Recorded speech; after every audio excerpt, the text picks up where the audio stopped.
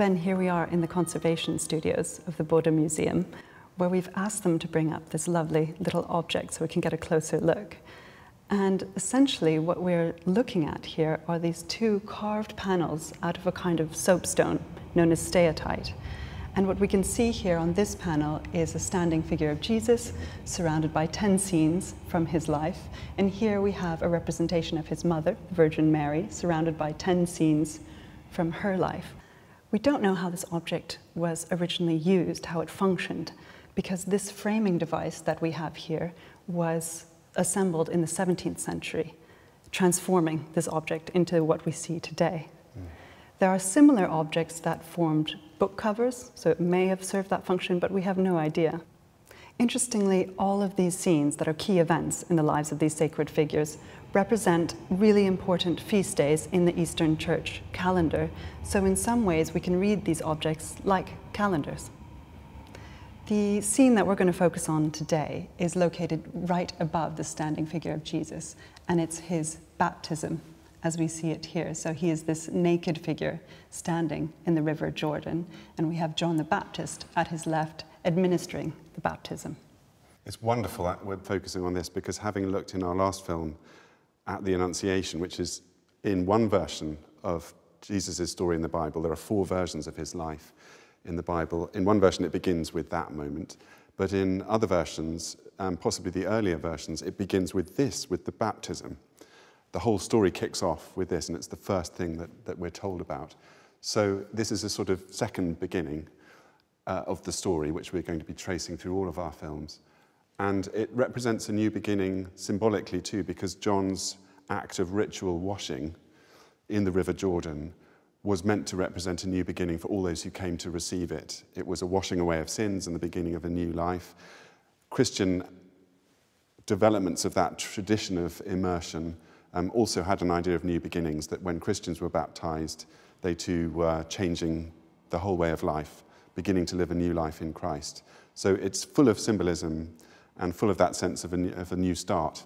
It's fascinating. It's both a literal washing and a kind of metaphorical washing away of sins, isn't it?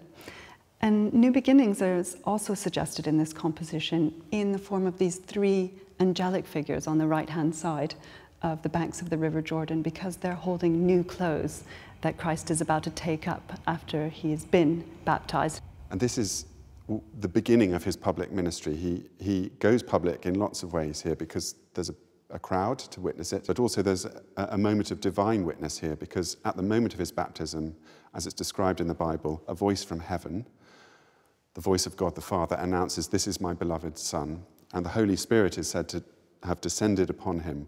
And we can just see how the artist has included a little open, an opening in the heavens mm-hmm. and a sort of shaft of light, I guess, to represent the Spirit descending on his head.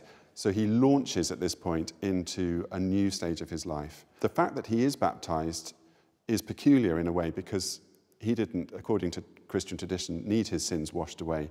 So I think for him, this represents an entering into solidarity with his fellow human beings and a sort of humility.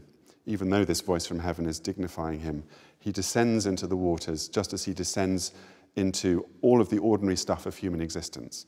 And yet that humility is placed here right at the top. Mm-hmm.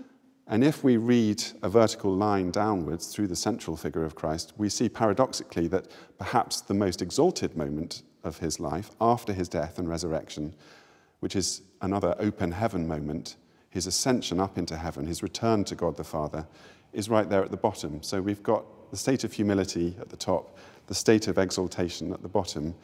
And curiously, on either side, here and here of the central figure of Christ, we see something similar going on where a moment of huge glorification, the transfiguration of his body on top of a mountain on the left, is paralleled by his humiliation on the cross. And both the vertical and the horizontal lines create a cross shape as if to anticipate what will be the end of his public ministry, the end of his life.